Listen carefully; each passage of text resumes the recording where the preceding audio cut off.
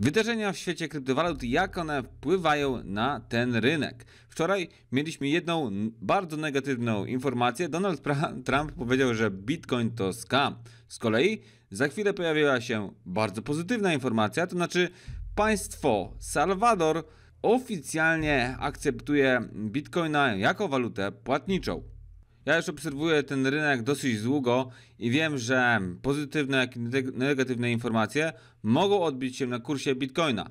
Jeżeli y, te informacje odbijają się na kurs Bitcoina, to oczywiście Bitcoin pociąga za sobie alty w zależności od dominacji Bitcoina. I możemy sobie zobaczyć, y, wyszła ta informacja od Donalda Trumpa, mieliśmy zjazd nawet do 30, około 31 tysięcy dolarów za bitcoina. Potem wyszła pozytywna informacja o e, państwie Salwador, który akceptuje teraz bitcoina. No i w tej chwili jesteśmy już na poziomie 38 tysięcy. Czy te informacje wpływają na rynek? Oczywiście tak. I teraz jesteśmy akurat w rynku eventowym, więc każde pierdnięcie Ilona Maska czy Donalda Trumpa może wpłynąć na kurs kryptowalut.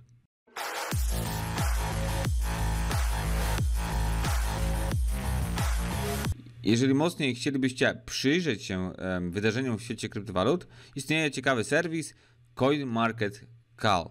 Tutaj możecie sobie sprawdzić, jakie wydarzenia szykują się dla poszczególnych kryptowalut. I mamy takie cztery kategorie, czyli trending, wschodzące wydarzenia, bardzo znaczące, czyli significant, hot, gorące, no i tak jakby kryptowaluty z potencjałem. My sobie wejdziemy tutaj w zakładkę highlights i sprawdzimy jakieś wschodzące wydarzenia.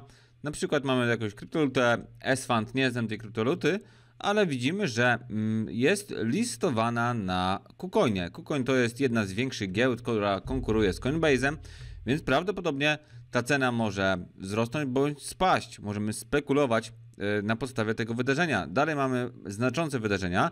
Widzimy, że na Ethereum jest wdrożenie sieci testnetowej Garly, E, kryptowaluta Zcash, mamy tutaj też testnet. Dalej, bardzo gorące wydarzenia, na przykład Kalisto Network, airdrop, spoko, też może w jakiś sposób odbić się na cenie tej kryptowaluty. Kryptowaluty z potencjałem, Basketcoin, o, to jest nawet nasz polski projekt e, i jakoś ma tutaj pewnie wydarzenie, więc sprawdzimy. No i zobaczcie, mam tutaj e, sporo takich wydarzeń. 25 czerwca mamy listing na giełdzie, karty NFT, więc tutaj możecie sobie sprawdzić poszczególne wydarzenia, na przykład kliknijcie sobie na proof, e, czyli tutaj mamy informacje z jakiegoś tam serwisu, source, Twitter, tak, czyli z Twittera mm, tego projektu i możecie sobie sprawdzać. Ja dzisiaj zostawię Was tym serwisem, jednak w dalszej części filmu pokażę Ci, jak korzystać z API. Czym jest API? No jeżeli siedzisz w świecie kryptowalut, w ogóle w świecie internetu, teraz powinieneś już wiedzieć, czym API jest, ponieważ tutaj z tego serwisu możemy wyłuskać najważniejsze informacje i na przykład stworzyć swój system do obserwacji wydarzeń na poszczególnych kryptowalutach. Więc to będzie materiał z mojego kursu. Zresztą możesz zapisać się do tego kursu z programowania Python oraz kryptowalut poniżej tego wideo. Zostawiam Ci z tym materiałem. Do zobaczenia. Jestem Cybercoach, to jest kanał Cyberbiznes. Wszystko, co chcesz wiedzieć o kryptowalutach, blockchain, biznesie w sieci. Lecimy z tematem. W tym wideo skorzystamy z naszego API, które udostępnia serwis CoinMarketCal. Przejdźmy do dokumentacji tego API. Mamy tutaj przykład napisany w Pythonie. Skopiuję ten przykład, zaznaczam całość. Przechodzę do VS Code.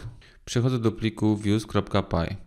Tutaj rozwinę funkcję wydarzenia, gdzie będę obsługiwał moje API. Wklejam przykładowy kod obsługujący API CoinMarketCal. Pamiętajmy o odpowiednich odstępach. Jak widzisz, importowany tu jest moduł request, ale ten moduł zaimportuje globalnie, czyli u samej góry naszego pliku. Dzięki temu w każdej funkcji ten moduł będzie dostępny. W pliku views.py będziemy tworzyć więcej funkcji, które będą obsługiwały różne funkcjonalności i różne API. Spójrzmy na ten kod. Tutaj wpisujemy adres URL tego serwisu. Następnie mamy query string. Tutaj wypełniamy odpowiedni słownik pythonowski, konstruując odpowiednie zapytanie dla tego API. Za chwilę to odpowiednio sparametryzujemy. Payload zostawiamy pusty. No i e, ważny słownik, headers. Tutaj musimy wkleić nasz prywatny klucz API, który dostajemy po zalegowaniu do serwisu CoinMarketCal. Jeżeli zalogowałeś się do serwisu CoinMarketCal, jestem zalogowany, tutaj znajduje się Twój prywatny klucz API. Także kopiuję ten klucz i wklejam go w to miejsce. Ok, zapisuję plik views.py. Zauważ, że w terminalu miałem uruchomiony serwer i mam tutaj informację, że Django nie odnalazł e, modułu requests. Dlatego należy zainstalować request w naszym wirtualnym środowisku. Utworzę nowy terminal CMD, e, przejdę do pulpitu, następnie przejdę do mojego wirtualnego środowiska i uruchomię wirtualne środowisko. Wykorzystam komendę pip install requests, czyli instaluję moduł request w moim wirtualnym środowisku, wtedy będę mógł skorzystać z tego modułu. Ok, przechodzę do poprzedniego terminalu, gdzie miałem uruchomiony serwer.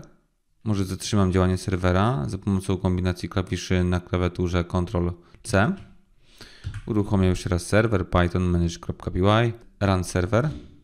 Dobra, wszystko działa poprawnie. Zobacz, odpowiednio skonstruowałem zapytanie dla tego API i e, wykonuję coś takiego jak request, request get. Czyli wysyłam zapytanie dla tego API z wykorzystaniem modułu requests. Moduł request służy właśnie do zapytań internetowych i odpowiedź wpisana jest do zmiennej response. Tutaj będzie mm, nasza e, odpowiedź z tego API. Dalej w tym przykładzie miałem wykorzystanie funkcji print, więc ta odpowiedź powinna zostać wyświetlona w terminalu po wywołaniu funkcji wydarzenia. Kiedy zostanie wywołana funkcja wydarzenia? Wtedy, kiedy wpiszemy odpowiedni adres URL. W tym wypadku jest to główna strona. Pamiętamy, że adres URL wywołuje funkcję wydarzenia. Więc przejdźmy do mojego kryptoportalu. To jest mój kryptoportal, więc wystarczy, że odświeżę stronę. Wszystko działa, wracamy do VS Code. Zauważ, że w momencie, kiedy pisałem e, główny adres strony, została e, odpalona funkcja wydarzenia. Całe zapytanie API zostało wykonane i teraz z terminalu została wyświetlona odpowiedź. Tak wygląda odpowiedź mojego API. Jednak e, opisywaliśmy mm, odpowiedź tego API i wiemy, że jest to odpowiedź w formacie JSON. Dlatego musimy zaimportować kolejny moduł, który pomoże nam obsłużyć ten format. Jak to zrobić? Wystarczy, że tutaj zaimportujemy u góry moduł JSON. OK, zmodyfikuję mój kod, nie będę wykorzystywał funkcji print. Tworzę nową zmienną event podkreśnik kalendar, czyli event cal. Wpisuję json.loads, czyli ładuję ten plik JSON i biorę zmienną response, gdzie mamy odpowiedź z mojego API, response. Wpisuję dalej operację content, więc w ten, w ten sposób będę mógł wyświetlić moją odpowiedź w formacie JSON. Wywołuję funkcję print i przekazuję zmienną event call jako parametr. Przechodzę do mojego serwisu, odświeżam stronę. Funkcja wydarzenia została wykona, wykonana i znów mamy tutaj odpowiedź OK. Um, inaczej skonstruuję teraz tak jakby zapytanie do tego API. Zobacz, że tutaj mam um, opcję wyświetlenia maksymalnie 10 wydarzeń. No i sparametryzowałem to zapytanie, że e, API ma mi zwrócić informację o kryptowalucie Bitcoin, więc ja może na razie e, ten parametr usunę i pozwolę, żeby API zwróciło 10 wydarzeń. Przejdźmy znów do mojej strony. Odświeżam. Funkcja wydarzenia powinna być wywołana. OK.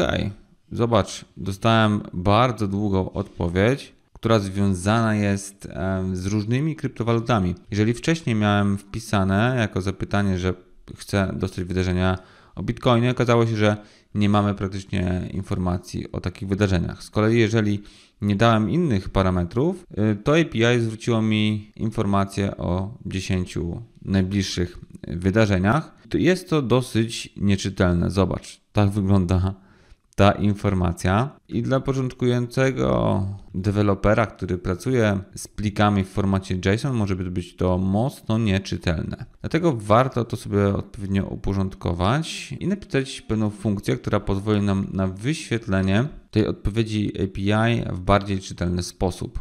Ok, na razie tego nie będę wyświetlał, więc mogę tutaj dodać komentarz.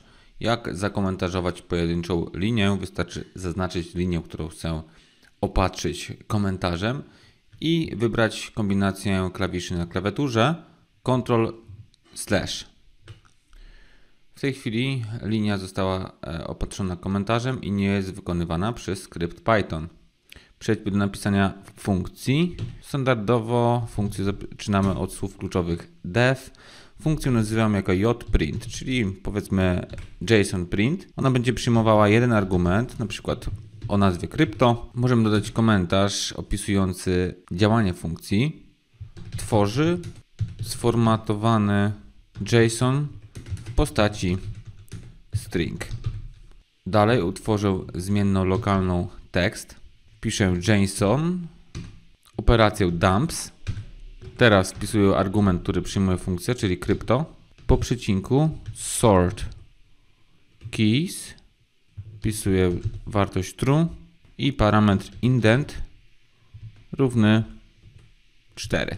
Dalej wykorzystam funkcję print do wyświetlenia tego uporządkowanego tekstu w formacie string. Ok, moja funkcja jest gotowa. Nie musisz wdrażać się, powiedzmy, co oznaczają te parametry. Ważne, że ten string będziemy mogli wyświetlić w uporządkowanej postaci. Jeżeli taką funkcję e, zadeklarowałem, mogę ją wywołać, czyli jprint i przyjmujemy odpowiedni parametr. Wpisujemy tutaj zmienną event call, czyli zmienną, w której przechowywana jest odpowiedź w formacie JSON. OK, plik mogę zapisać. Serwer nadal działa, to znaczy, że poprawnie napisaliśmy funkcję i poprawnie wywołaliśmy funkcję. Teraz przejdę do kryptoportalu. Otwierzę mój kryptoportal i przychodzę do terminalu. Jak widzisz, mam tu bardzo ciekawy efekt. Moja odpowiedź API wygląda teraz dużo przyjaźniej dla użytkownika. Zobaczmy, wcześniejsza odpowiedź wyglądała w ten sposób. Jest to dosyć nierzetelne. Z wykorzystaniem funkcji jprint wyświetliłem to w terminalu, gdzie mogę zidentyfikować poszczególne sekcje. Mamy tutaj takie sekcje jak metadata, w sekcji body mogą czytać, o jaką kryptowalutę chodzi. Mam tutaj nazwę kryptowaluty oraz jej symbol, data wydarzenia, ID wydarzenia i dwa potrzebne linki, czyli proof oraz source. Tutaj mamy zwykle zdjęcie oraz link, który odsyła nas do e, tego wydarzenia. Dalej jest również tytuł opisujący dane wydarzenie. Spójrzmy na metadata API powinno zwrócić nam 10 wydarzeń, więc pod spodem znajduje się 10 wydarzeń, które zwróciło API o tych samych parametrach. Ale zauważ, że rzeczywiście jest to dużo czytelniejsze i teraz będziemy mogli łatwo poruszać się pomiędzy poszczególnymi odpowiedziami i wyłuskać odpowiednie dane. Więc pomniejszę sobie ten terminal.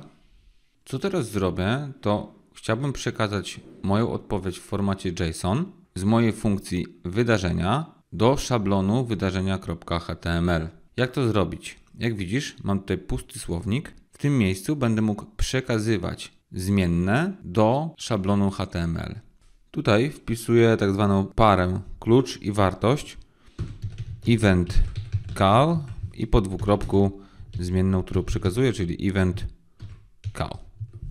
Zapisuję ten plik. Mój serwer dalej jest wystartowany przechodzę do szablonu wydarzenia.html i tutaj użyję znów tak zwanych template tags. W tym miejscu zamiast napisu użyję template tags.